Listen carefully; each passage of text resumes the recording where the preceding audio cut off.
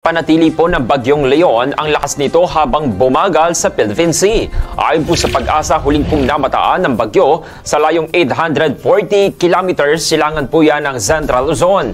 Taglay po nito ang lakas ng hangin aabot sa 85 km per hour. Malapit po yan sa gitna at bugso na hanggang 105 km per hour at kumikilos po yan pakanluran sa bilis po na 10 km per hour. Tinatayan lalakas pa ito sa susunod po na 24 na oras at magiging isang severe tropical storm mamayang hapon.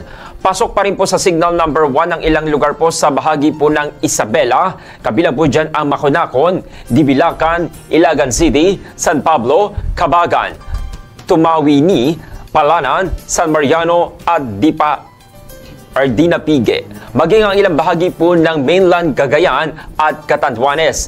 Inaasahan naman pong patuloy na kikilos ang Bagyong Leon, pakanluran po yan sa susunod na labing dalawang oras. Ayon po sa Weather Bureau, ang weather disturbance ay posibleng lumabas po ng bansa sa darating po na Friday, November 1.